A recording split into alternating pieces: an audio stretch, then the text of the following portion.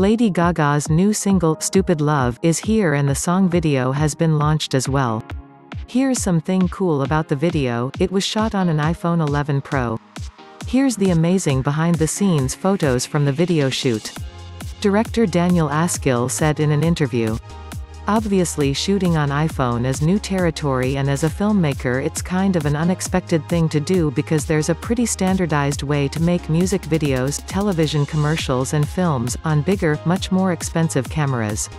We had a blast shooting on iPhone 11 Pro. It creates a lot of new possibilities and freedoms for us to explore. Director Daniel Askill said in an interview. We put the phones on a professional Steadicam and a professional scale drone, Daniel continued.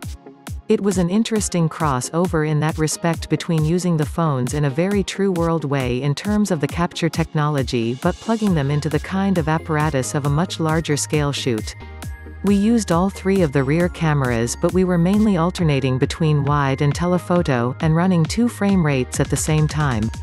We were shooting everything at 4K for almost all of the takes and would have one camera at 24 fps with a second camera sitting right underneath the main camera at 48 fps for a bit of slow-mo. We wouldn't have be able to do this if we were running a single camera shoot on an Alexa.